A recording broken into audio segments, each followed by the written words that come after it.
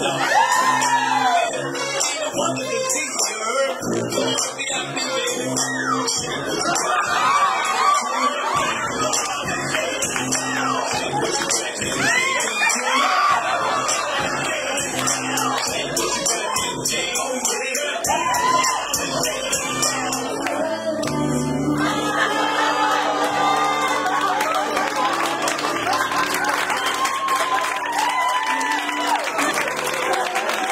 Finally got the right song up.